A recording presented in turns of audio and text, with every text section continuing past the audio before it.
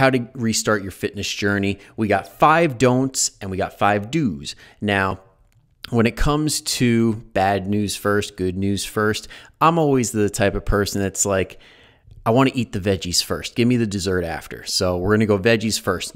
Do not do these things if you want to have a successful diet, a successful diet, a successful, sorry, tripping over my own words, a successful fitness journey. And before we dive into this, I just want to set like set the frame here because what I'm going to say is going to trigger some people. It's going to set off that mental resistance that's like, but that worked for me in the past. Like, uh, why shouldn't I do that? It clearly works. And I'll say this let's just quickly open our minds a little bit and adjust our definition of what works a or what a successful diet is or a successful fitness journey. A success in my eyes would be something that allows you to stay lean, to stay strong, to feel energized every day of the year for years to come. Not I hop on it look my absolute best for about a month or two and then hop off it and I'm right back to square one. So this is all geared towards a long-term approach. That's what we want to start getting in the habit of is getting away from these all or nothing diets, these crash course 75 hard, got to prove to everybody how tough I am. No. This is the approach that you can do with relative ease and live your best life. So, first and foremost, on the do nots is we're going to stay with the mental theme here. First is don't beat yourself up mentally. If you're in a place right now where you just are not happy and sorry guys, one sec, just making sure we're good on everything here. Uh, this is what happens. We podcast and little notifications pop up, throws me off. Anyway, back, bringing it back, bringing it back. Uh, don't beat yourself up mentally because yes, it's normal to feel really crappy about yourself. It's normal to feel like, oh, I ate and drank so much. I feel like a slob. I feel like a, as my dad would put it, a lazy sack of shit. um, but that is not an excuse to just jump in and be like, screw it. I'm going to work out every day as hard as I can. I'm going to run until I can't feel my feet. I'm going to starve myself by eating nothing but salads every single day. That stuff, yeah, it works in the short term. It can help you look incredible, but it never lasts. It always results in regaining the weight and regaining more weight than when you started. So if you do want to put a lot of effort in and suffer a whole lot for very short-term results and ending in a worse place than when you started, do that. But if you don't, avoid it. Next is hopping on a 1200 calorie diet. For if you're in a place right now where you were just eating in a caloric surplus, which means that you gained a little bit of weight over the past month or two, then your metabolism is fired up right now. It does not need to drop down all the way to 1200 calories to start seeing results. And unless you are a person that is around 120, 140 pounds, yes, maybe. But if you're not, then you can bet that you don't need that many calories. Or sorry, you can bet that you don't need to go that low in calories. So for if you're wondering what a good calorie intake should be, I mean, I've talked about it in many, many episodes. Hopefully, you guys remember, but as a quick refresher, take whatever weight that you want to get to right now and then multiply that by 10 to 12 and do it based on your activity level throughout the day. So if you work a job where you're sitting down a lot and you don't move around and you're not good about getting your steps in, then multiply it by 10. So let's say you're about like 180 pounds and you want to get to 160. Good. Multiply that by 10, 1600 calories. There you go. Or let's say you do move around a lot. You're on your feet a ton. You're in like a warehouse job or you're doing meetings on your feet all day or you're like a personal trainer and you're just like walking around with clients all day showing houses or something. That would be a case for multiplying by 12 because you are going to need more calories than a person that doesn't move as much. And if you are unsure and you're kind of somewhere in the middle, multiply by 11. And I can almost guarantee you that that will not give you 1200 calories. And if it does, don't go that low that fast. like cap it at about 10% of your body weight. So myself, I'm 200 pounds. 10% off would like be 20 pounds off. So that would put me at 180. So 180 times 10 for the easy math, that'd be 1800 calories right there. Bing, bang, boom. Easy way to do it. Next is cutting out specific food groups like the low carb crowd, the low fat crowd, they are adamant and they'll talk and scream until they're blue in the face about why their approach is best. But the hard truth of the matter is that it doesn't hold any water. When you look at the studies, when you look at like people that have done it, it is no better than doing a balanced approach. And in more times than not, the balanced approach results in people feeling better, getting better results, and having longer lasting results than these drastic approaches. And when we're talking about low carb, if you're looking for horrible feeling workouts and really low energy throughout the day, do that. Or if you're looking at low fat, for example, if you want to show up to your doctor and have your hormones all out of whack, or if you want to also feel like garbage, because fat is very, very important when it comes to hormone production and all of that, it's going to put you in a worse spot. And when your hormones are out of whack, it's that much harder to get a body composition that a lot of people are striving for to get leaner and burn that body fat. So, for example, like let's say you did go low fat and it did mess you up a little bit hormonally and you're not in that good place, you'll lose weight, but a lot of that will end up being lean muscle mass or lean body tissue like bone, ligaments, and all that, not body fat. So you're to lose weight, but you're to look exactly the same. So you'll be a smaller version of your same body composition, if that makes sense. Uh, next is don't do seven days of grueling workouts. If you haven't touched a weight or gone for a run or gone for a swim in the past like two, three months for a consistent amount of time, like four, five, six days in a row, consistently, your body is nowhere ready for that. It's nowhere near ready for that. And it's a whole, again, a whole lot of effort and a whole lot of suffering for very little added benefit and a much faster plateau uh, yeah, that's all I could say about that. It's gonna be a shock to your system in the worst way possible because there's no way in like, especially if you're a normal person and you're not able to get perfect sleep every night, your nutrition is not on point. Clearly, you're not to be able to recover from that and adapt in the way that you want. So the results are not to come the way that you think they are. And number five on the don't list is multiple workouts a day. This goes out to all the people that I love from the gym that I used to work out at. There was a solid group that would do our fat blast class multiple times, like in a row, like for three hours straight. And as trainers, we told them, we're like, you know, this really isn't good for you, right? Like, this isn't a good idea. This is not something that's going to get you more results. It's just, if anything, it's killing your recovery. It's, there's, it's not even so much as oh, do it, it's not a big deal. It's don't do it because it's hurting you more than it's helping you.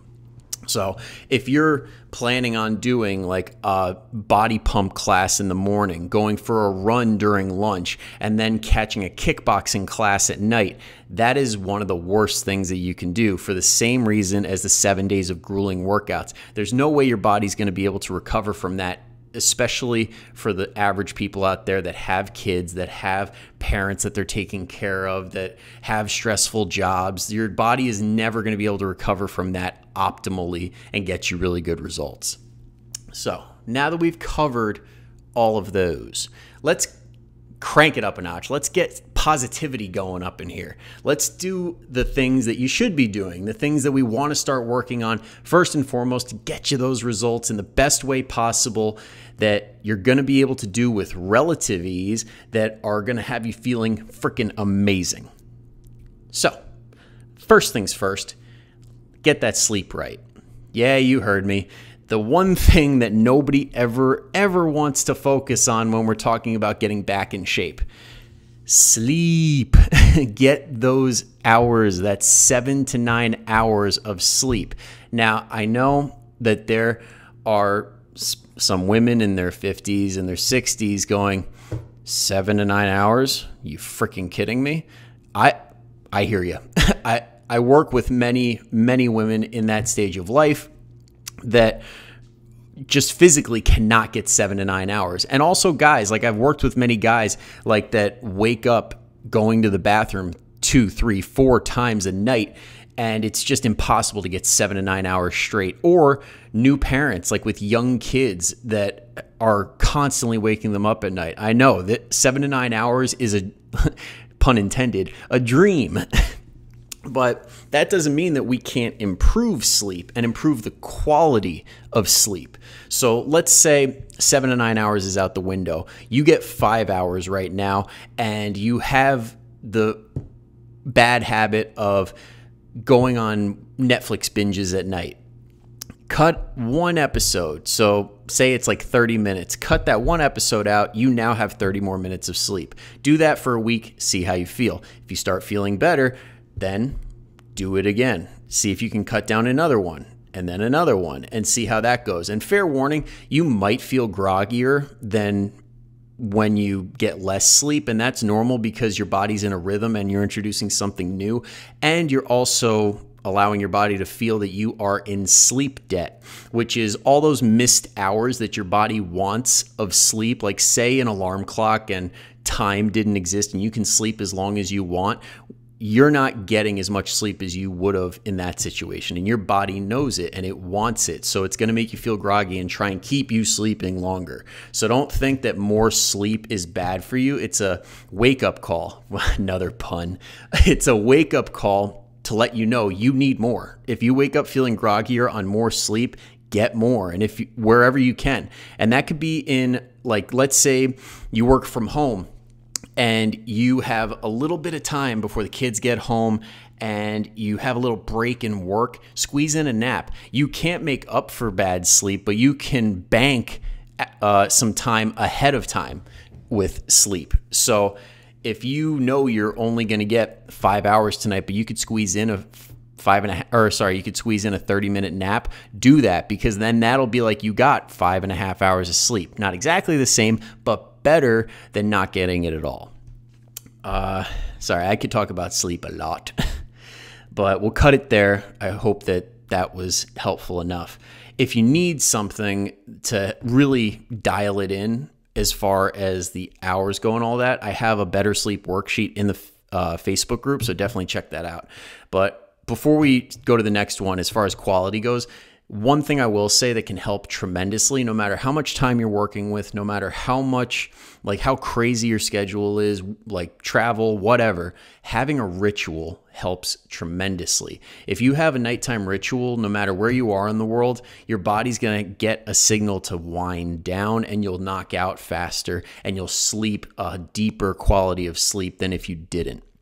So pick like three to five things like brush your teeth, do some stretching, and then read a book or something like that, or whatever three to five things you can think of that you already do, do them in the exact same order every single night right before bed. And just watch. You'll start getting drowsier and drowsier because your body knows now's the time. Got to go to bed.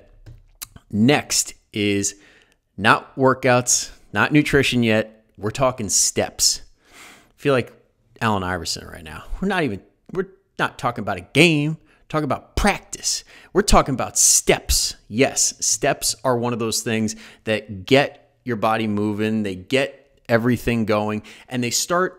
If you start with this, it's one of those easy things that not only gets your body in that place where it's like, I'm ready for fitness, it's going to improve your cardiac health, it's going to get your joints nice and lubricated, it's going to do a bunch of good things, but it's also mentally going to put you in the place of I'm a fit person. I do walks, I'm active, I'm healthy, and that feeds into everything else. So, starting with steps is one of the best things you can do. And if you don't do any at all and you really struggle to get a lot, the baseline that I would start with, like for a lot of people, this is very easy to achieve, is 5,000 steps a day. That's like the bare minimum. The lowest that you want to go is 5,000 steps a day. And just start with that. And then you'll be surprised if you only aim for that much and you get it by like mid afternoon, you're like, I could go for another walk. And then boom, you are at 6,000 steps. And then the next day, you're like, oh, I want to get ahead on my steps. So I'm going to bank them early. And then you hit your goal by like middle of the day and you're like, oh, I could do even more. Now you're up to 7,500 steps and then 10,000 and then 15,000. It builds up. So start with a low goal and then crush it. Next is water. When we're talking about water, we want to aim for about half your body weight in ounces. Now, I wouldn't say do that right off the bat because you're going to be going to the bathroom a lot. Now, that's like the goal. That's what you want to get to, that upper end. So start wherever you're at right now. Just establish like some consistency. Say you only drink one coffee in the morning and then maybe a glass during the day. Fine. Do that cup of coffee, that glass, and then add one more glass. So, one good rhythm to get into is having a glass of water with every meal. So, say you do breakfast, lunch, dinner, do your coffee at breakfast, water at lunch, water at dinner Boom. Then keep that rhythm and now instead of a glass do something like a blender bottle like the uh, shaker bottles that i got here. Those are about 20 ounces. The standard glass is like 8ish but up the size of the container. That way it's really not that big of a change. It's just i have a bigger glass. And then from there do your breakfast lunch dinner with the blender bottle. Then from there do breakfast, lunch, dinner, and then start adding one that you carry around everywhere, that you have at all times, because the closer it is to you within arm's reach, the more water you are going to drink. It's just a fact, because you'd be surprised how thirsty you get looking at your water over and over again. If it's out of sight, it's out of mind, which works very well with trigger foods, but you can flip that and do it for healthy habits too. Uh, let's see. Next is whole foods, eating more of them in general. Now, the ideal upper end for this one is 80% of your food being whole foods. Now, what does 80% mean? Because that's the first question. Every time I give it to a client, they're like, so is 80% like I don't really know how to conceptualize that. Does it mean I can have one cheat meal? Does it mean this? Does it mean that? 80% means every single meal that you have is pretty much all whole foods. But if you want to have, like, say you're doing breakfast, lunch, dinner with two snacks a day, if you want to have one of those snacks be a donut that is like 150 calories, do it. And then, boom, that's about 80% of your food being good, and then that one donut. Um, or say you're going out to dinner with friends and family and you're like, okay, I looked at the menu, I'm making a good choice. I'm going to get the salad or sorry, not the salad, the uh, salmon with veggies on the side. I'm good. And then somebody brings out and orders mo- mozzarella sticks, and you go, I'll have one or two. And you share the appetizer with them, that's good. You're still on track. That's 80% right there because the rest of your day was good except for those mozzarella sticks. That did not qualify as a whole food, so that's fine there's still room for that. The goal is not to be perfect because perfect is prison. Nobody wants to eat perfectly all the time. It's just we're not in a world that allows for that. Like if we were cavemen and we only had whole food, yeah, we'd be able to stick to it. But we're in an ultra processed, super palatable world. You need to live a little. And now let's say you hear that and you're like, geez, I don't know if I could even get close to that much whole foods. Like I eat out pretty much all the time. Like everything I eat comes from a wrapper or a box. Totally fine. Just aim for one meal. Like start from the other end of the spectrum, which is try and just get one meal of whole foods. And for a lot of people, the easiest one to do is going to be dinner because we usually have the most control over that. So do whatever you do for breakfast and lunch. And then for dinner, aim to get a lean protein, some veggies on the plate, and then a complex carb. And for those of you that don't know, complex, simple carbs, simple carbs are like starches and sugars, and then complex carbs are like uh, brown rice, sweet potato, all that whole grain stuff, all that good stuff. So lean meat, veggies, and a complex carb. And then if you hit that and do that for the majority of the week, you nailed it. And then as you go on, try and do that for dinner and lunch. Pack yourself a salad or a healthy wrap or something like that. And then once you get good at that, then see if you can start doing a protein shake for breakfast because protein shakes are kind of like the loophole like these protein like muffins and pancakes that have a ton of protein have a ton of fiber I allow for those. So I would say, yeah, count them if there's fiber in there because that's really the real kicker is fiber. We want more fiber. We want all the vitamins and minerals and all the good stuff. So, upping the protein content during breakfast could be a step in the right direction too. So, start with that one meal, work your way up. Last but not least is the two to four workouts per week. Now, I got a lot of crap on this one for when I put it on Instagram because for some reason, all these teenagers and 20 something year olds that think they're hardcore, it really hurt their ego when I said this. And the research researcher die crowd came out and said like I don't think this is supported by research and let me just say this I am talking to people that are not working out currently right now anything that is better than what you're doing right now. Like anything is better than doing absolutely nothing. So if you're getting two workouts a week compared to none, you are going to get incredible results. Plain and simple. So aim to hit the gym or do an at, an at home workout. Again, I've got a dumbbell one and a bodyweight one on the Facebook group. So it's in the show notes. Give it a click, join the group. You'll see it.